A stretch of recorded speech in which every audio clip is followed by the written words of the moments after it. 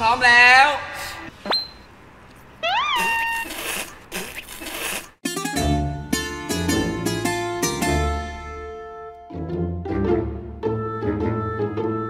มันจะอุบาทไหมอะ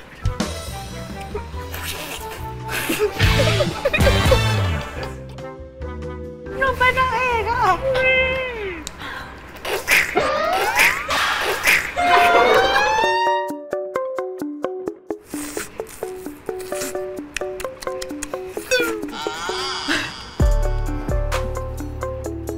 โอเค